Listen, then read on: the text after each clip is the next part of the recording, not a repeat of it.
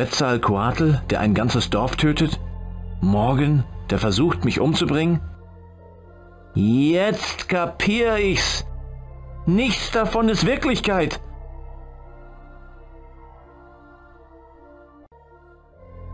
Ja, und damit Servus und herzlich willkommen zum letzten Let's Play von Sanitarium im Rahmen der Friday Horror Picture Show. Ich freue mich sehr, dass ihr nochmal zugeschaltet habt. Wir haben also jetzt die Herausforderung. Das ist definitiv das letzte Level. So. Diese Dinger zerfetzen mir die Füße, wenn ich sie benutze. Ah ja. Eine Aztekenstatue. Müssen wir uns eben in Olmec verwandeln. Wo bin ich denn jetzt? Ich muss mir meine wirkliche Identität bewahren. Ich bin Max.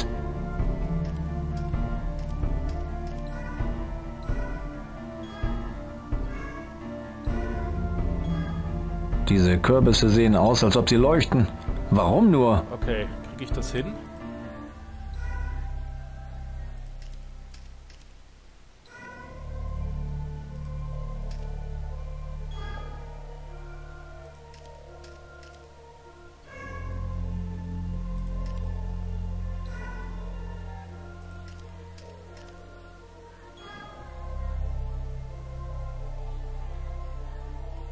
Es richtig oder nicht? Ich habe meine Maus noch nicht. Ich weiß es nicht. Hallo? Ah. Mein ja. Gott, das, das müssen irgendwelche Illusionen gewesen sein. So wie alles andere auch. Sehr schön. Da, Ein menschlicher Schädel. Wie komme ich dann? dem du läufst, du musst.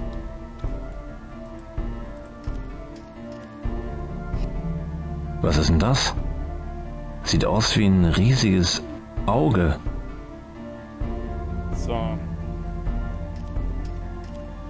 Also, Olmec ist unverwundbar und schwer wahrscheinlich. Ein Grabstein. Jonas Brüner steht drauf. Er hat den Tod verdient. Hier steht Jetta Driscoll. Was will dieses kopflose Ding von mir? Ein Kopf wahrscheinlich. Ein Mensch.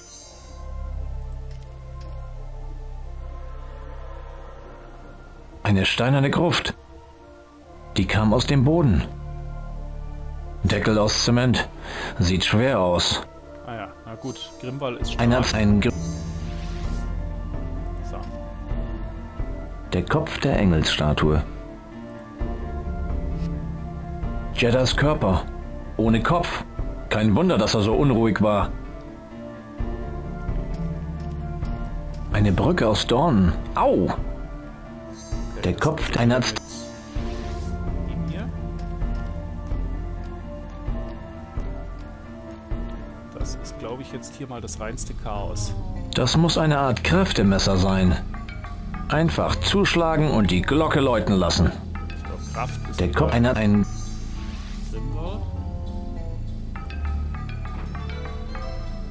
Jetzt hab ich's.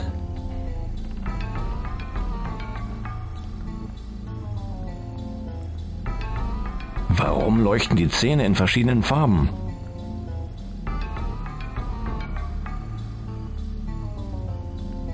Okay, das war da oben erschienen. Shit, hat man da aufgepasst? Meine Hände werde ich nicht ins Feuer halten. Achso, das muss wieder der Azteke machen. Der Kopf der Engels. Einer. So, der kann das doch. So, welcher von denen leuchtet in Rot? Damit fangen wir doch am besten mal an. Oder Dunk. Dann Gelb wahrscheinlich. Das wäre der da. Dann hatten wir Grün und am Schluss, glaube ich, war Blau.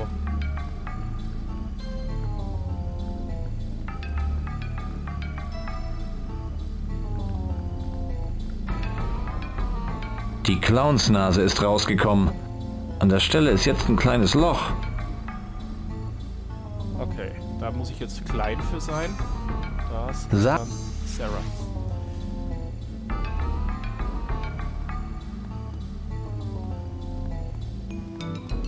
Hinter der abgebrochenen Nase ist ein kleines Loch.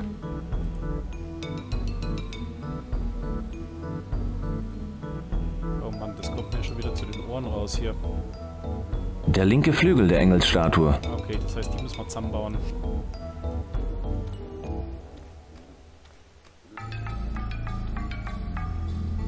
So, dann geht's gar nicht zurück. Oder gar nicht weiter, dann müssen wir ja hier wieder lang.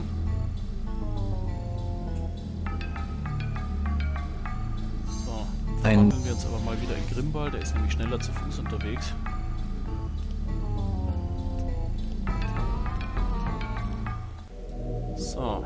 Ein leerer Sockel, da fehlt doch was. Ein leerer Sockel. Der taugt nichts. okay, ich brauche wahrscheinlich erst den Der- Torso, oder? Komm schon. Okay. Ah, Komische Hütte. Sieht aus wie die Bauwerke, aus denen der Insektenstaat bestand.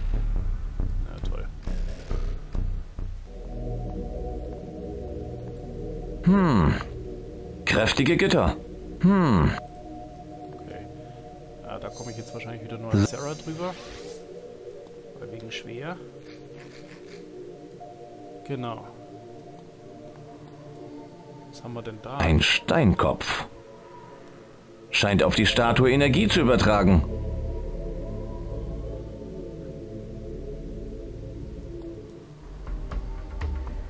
Okay, Der wahrscheinlich Kopf einer Aztek. Schwer sein für dieses Rätsel.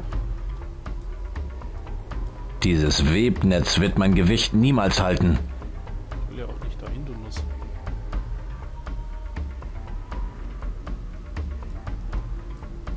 Okay, das geht irgendwie nicht. Da geht Energie durch den Boden. Sieht gefährlich aus.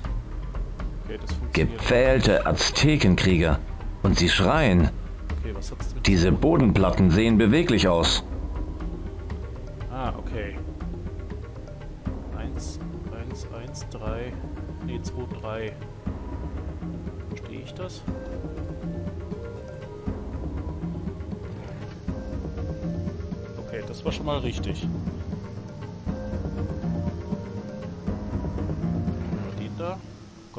Denn das noch? Ich weiß das nicht mehr auswendig. Das ist so lang her. Oh Mann. Den dritten.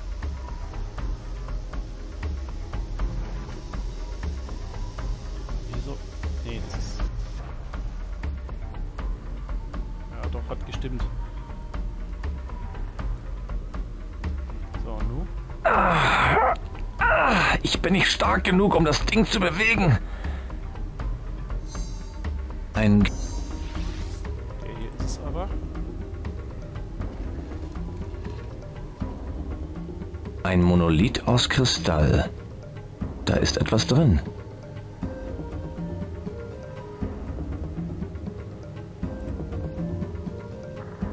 Ihr Geschrei kann Trommelfälle zerreißen. Ja, schön.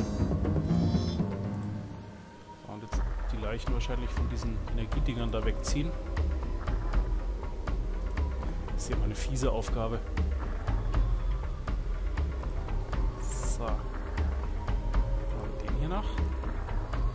Ein Teil der Engelsstatue war in dem Kristall eingeschlossen. Okay. Der rechte Flügel der Engelsstatue. Was fehlt uns jetzt noch? Der Torso wahrscheinlich.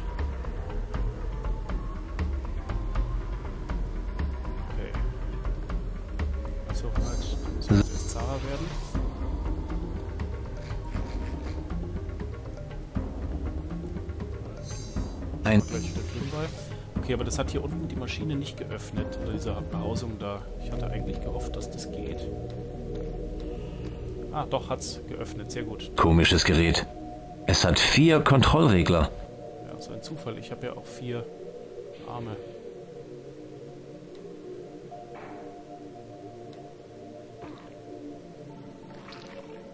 Der Unterbrecher funktioniert. Jetzt kann ich ans Gitter. Diese Maschine macht ein seltsames Geräusch. Scheint eine Art Unterbrecher zu sein. Okay.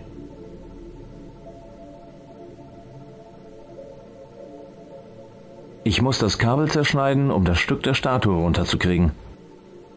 Ich muss das Kabel zerschneiden, um das Stück der Statue runterzukriegen. Okay, also Ein Gitter am. Boden. Unten drunter ist ein Tunnel. Das kann ich nicht tun. Ugh. Große Maden. Eine Wabe. Sieht aus, als ob was drin ist. Aha. Und was ist drin? Ja. Ein Insektenunterkiefer. Ah, sehr schön. Den können wir natürlich dann benutzen. Ein... Das kann ich nicht. Warum? Nein. Okay, das geht schon mal nicht.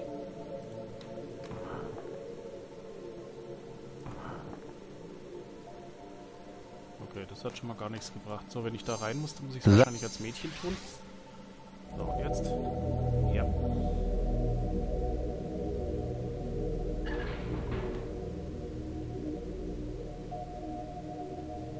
Muss ich da drüben wahrscheinlich hoch? Das Ein Aztek- als der hier.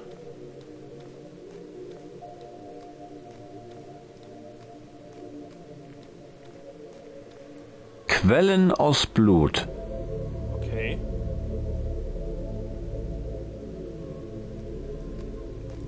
Ich muss das Kabel... Ah, so. Ein... So. Jetzt das Ganze... Ne, warte mal. Komme ich denn da zurück? Oder kann ich durch die Höhle wieder nach oben kriechen? Der Kopf der Engelsstadt. Sarahs Puppe.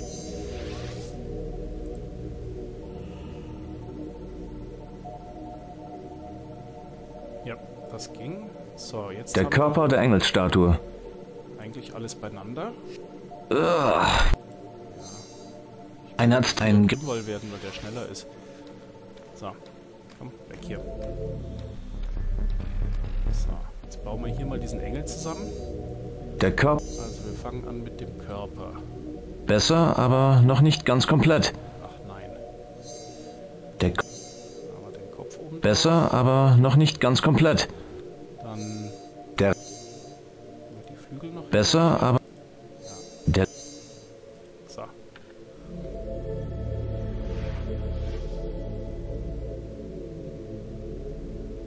Okay.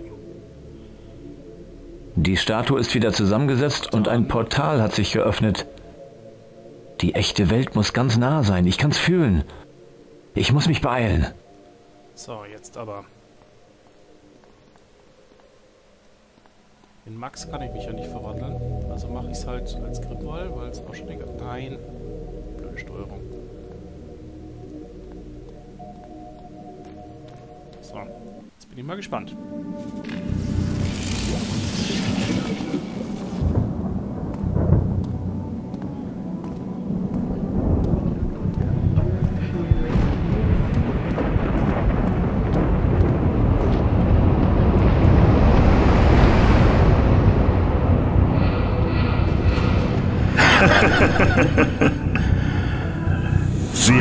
Weit gebracht, Max. Aber ich fürchte, Sie sind nun am Ende. Diese hier brauchen Sie sowieso nicht mehr. Sie ließen die Kinder dieser Welt im Stich, so wie ihre Schwester, als sie sie am meisten brauchte. Sie haben nicht genug Mut, sie zu retten. Und auch nicht die Kraft dazu. Sie haben alle enttäuscht. Es ist so, wie ich es immer sagte, Max. Sie stehen sich immer selbst im Wege.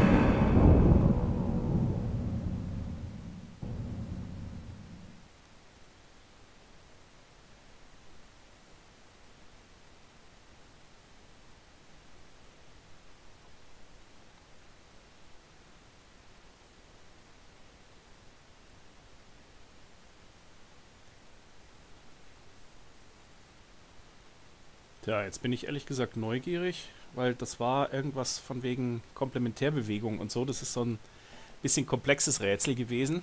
Schauen wir mal. Das kriegen wir jetzt aber auch noch hin. Ich muss einfach hier durchkommen. Dahinter liegt die echte Welt. Aber dieses Ding lässt mich nicht vorbei. Was soll ich nur machen? Suche die Wahrheit.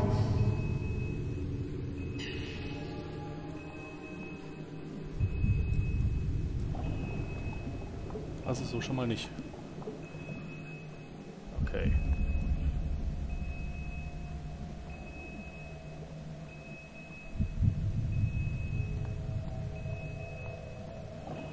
Nee, das hat auch nicht funktioniert. Okay, dann müssen wir wahrscheinlich einfach außen rum. Geht jetzt nicht weiter. Ein Stückchen wieder.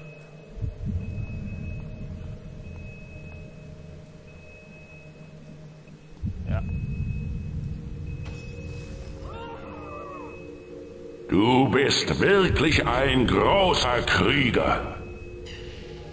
Whatever. Okay. Gehen wir halt hier wieder außen rum. Ich meine, ist ja eh egal. Die Umgebung ist auch so heiß, ne? Hier. Im Friedhof, die Toten.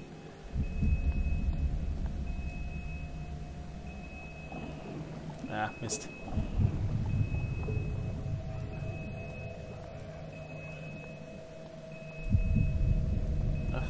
Zweite wäre es gewesen, ne?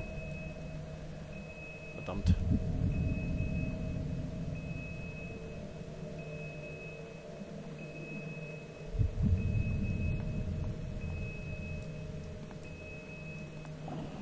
Ja, nicht ganz. Also auf das weiße Feld, da müssen wir uns dann stellen.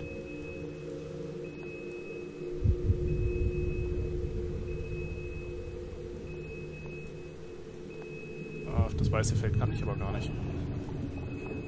Ähm okay, probieren wir es nochmal so.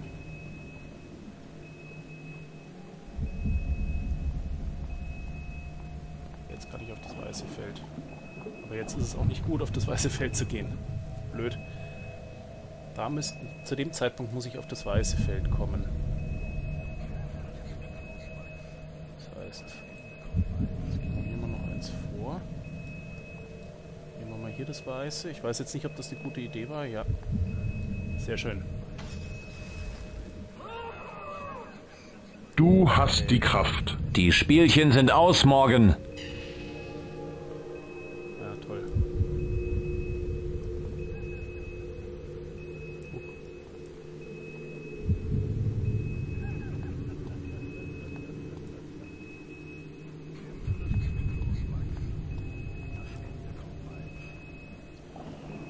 Das war nicht gut. Da haben wir dann so eine Sequenz. Okay.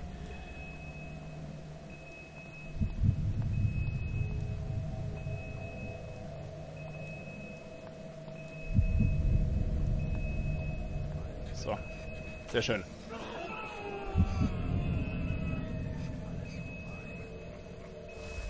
Du bist mein Held. Ich liebe dich. Der Schatten ist weg. Pech gehabt morgen. Ich werde überleben. Ja, das wäre es dann schon gewesen. Vielen Dank fürs Zuschauen. Schluss mit den Spielereien, Max. Sie sind jetzt am Ende.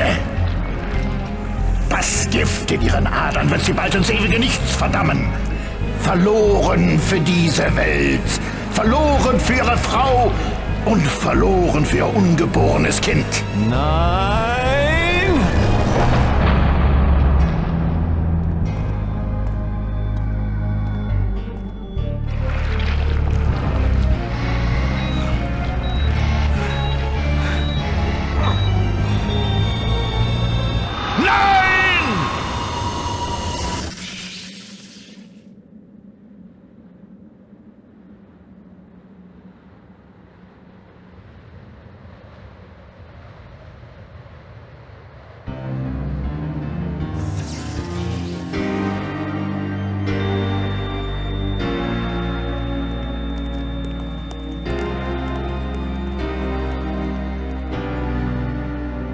Es ist vorbei. Ich bin wieder da. Es ist vorbei.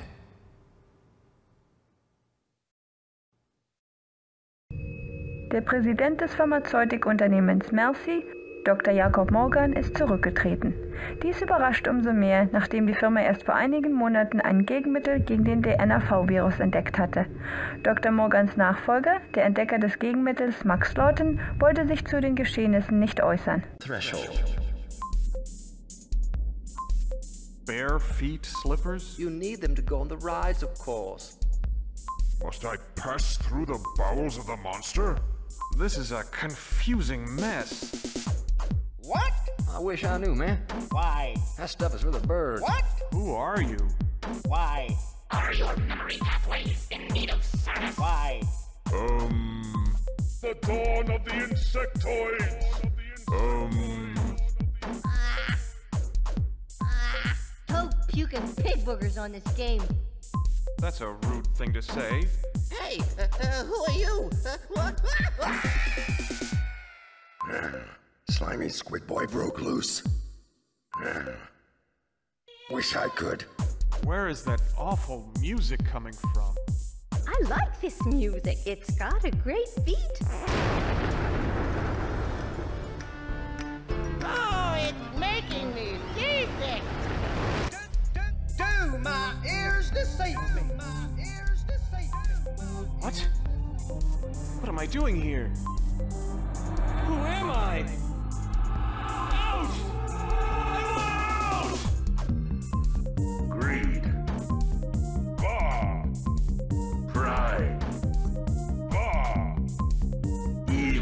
My name is. My name is. Not meat. His arms were red with blood and he was swinging around the head as he was talking. Ah, now there be a melody any good sailor would dance a jig to. Enough games. Enough games. Enough games. Yield before Olmec. We have a winner! Amen to that. Oh, don't cry. The music's not so bad. That evil machine will be silent for a while.